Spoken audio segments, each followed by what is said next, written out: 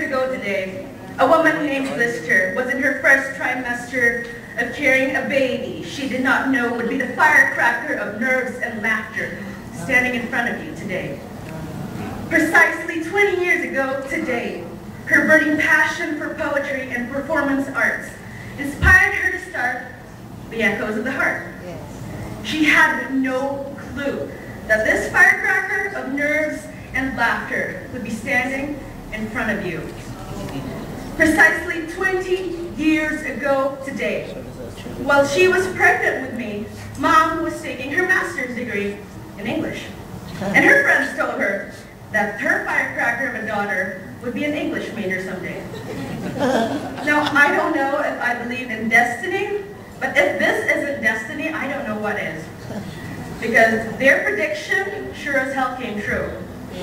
They wouldn't have guessed I would be standing here in front of you.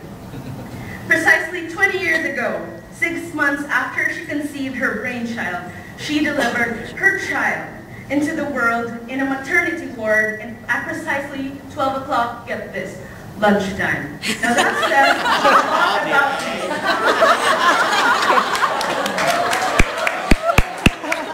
I'm never late for lunch. Anyway, she had no idea that her brainchild and her would fall in love.